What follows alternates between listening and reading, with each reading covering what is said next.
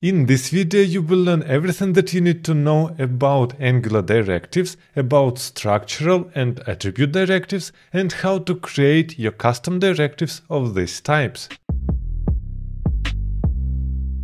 And actually inside Angular we have three different types of directives. We have component directives, structural directives, and attribute directives. And actually when we are just creating a component like maybe child, this is considered a directive. Yes, we are naming it component, but essentially this is component directive. To create a component, we're using component decorator, and inside we have a template. This is the main difference. When we're talking about attribute directives, then we're defining them like this. So let's say that we have a div and on it we have some directive, for example foo. And here inside we have just some text. And actually this foo is an attribute directive, which actually means this is a directive which provides some behavior for our element on which we're applying this directive. Most important difference is that we don't have a template inside our attribute directive, but only inside component directive. So when we're creating attribute directives, we simply apply some behavior or some styles on already existing element. And inside Angular, the most popular attribute directives are, for example, ngClass or ngStyle that we're using to change the behavior of existing component. And the last thing that we have is structural directive. And this is a directive which changes the structure of our DOM. For example, if we will write here ngIf, then it is a structural directive. Typically, you will see a star symbol which means that this is a structural directive. Additionally to that, we can write ngFor, and this is also an example of structural directive. So if you are getting a question on the interview, then you need to name these three types of the directives, component directive, attribute directive, and structural directive. Now let's create a custom directive and we will start with attribute directive. Let's say that we just want to create a simple directive which will change the background of our element. Let's say that here we have a div and inside we have some text, for example, this is some text. And on this div we want to apply our directive and let's name it highlight. Now we must create this directive. And here we can name it highlight.directive.ts. Now inside we're exporting our class highlight directive and we're using a decorator directive on the top.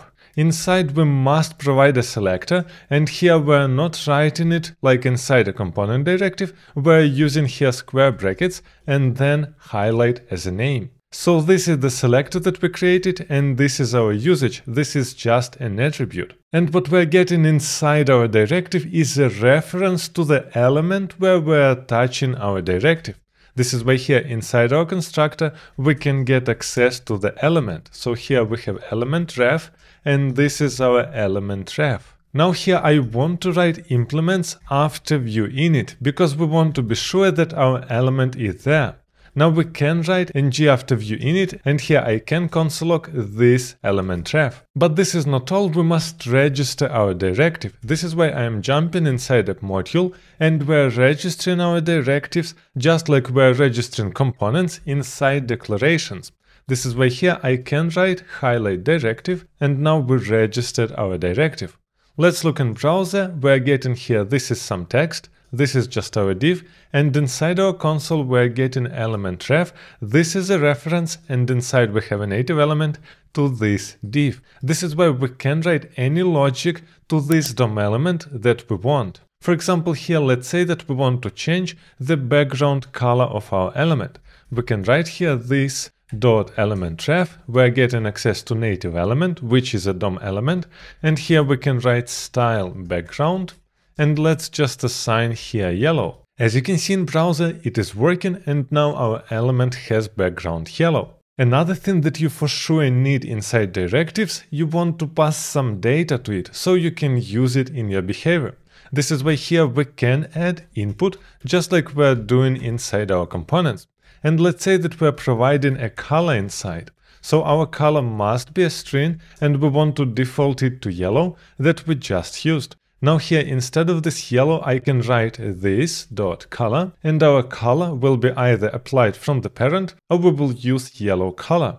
Now here I want to open our parent and inside our highlight we can provide an additional attribute color and we're providing it in exactly the same way like we're doing with components.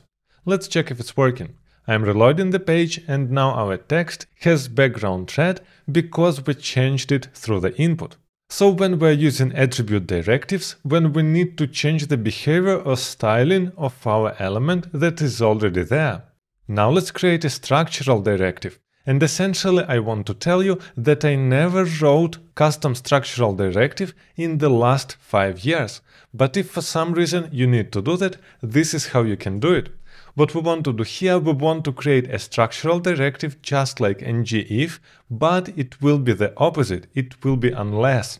This is why here I want to name our file unless.directive.ts. Now here we're doing exactly the same thing. We're exporting our class unless directive and on the top we must add a decorator which will be directive and inside we must provide a selector. In our case I will name it unless. Our next step will be to register this directive. This is why let's jump inside app module and register it here. It is unless directive.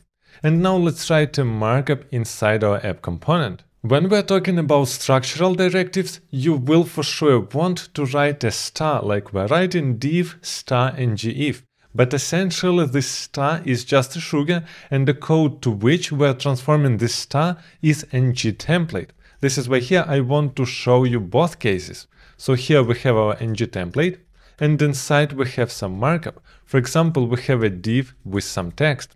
And here we can write, for example, this is some text. Now here on our ng template we can apply our directive unless and as you can see I am using exactly the same syntax like with normal directive. So inside here we want to provide a condition. This is why I will open app component and create here a property condition which I will set to true. Now here we can provide this variable condition inside our directive unless. As you can see in browser, we're getting an error cannot bind to unless since it is a known property of ng template. And essentially this can be super confusing for you because here we're not getting an error regarding our directive at all.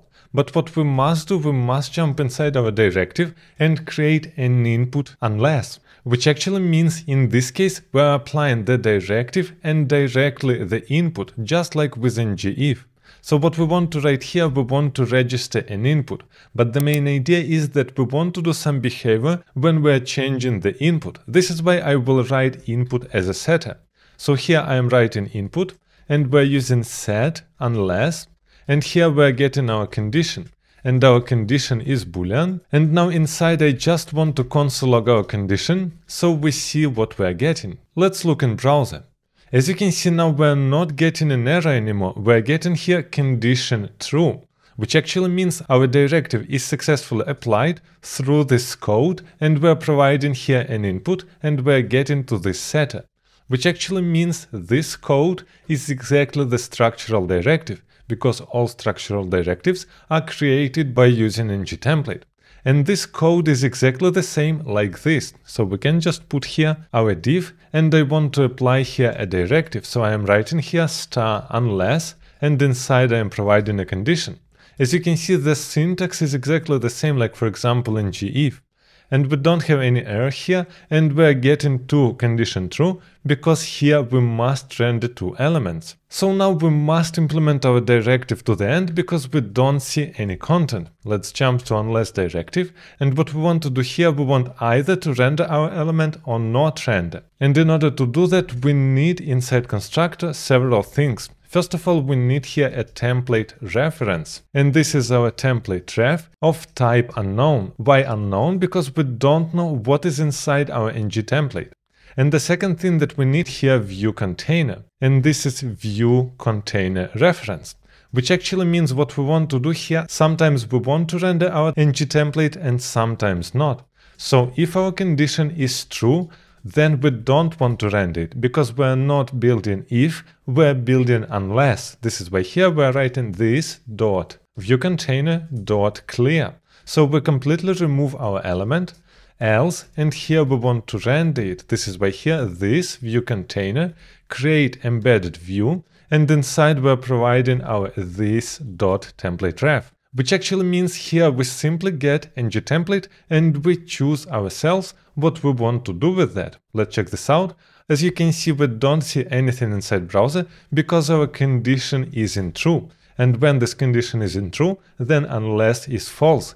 If we change it here to false, then two elements will be rendered. These are our both unless elements. And as you can see here, we wrote them differently with star, which is just a sugar, or with ng template, which is exactly how Angular transforms this star logic. And actually, if you're interested to know what is ng model inside Angular and how does it work, make sure to check this video also.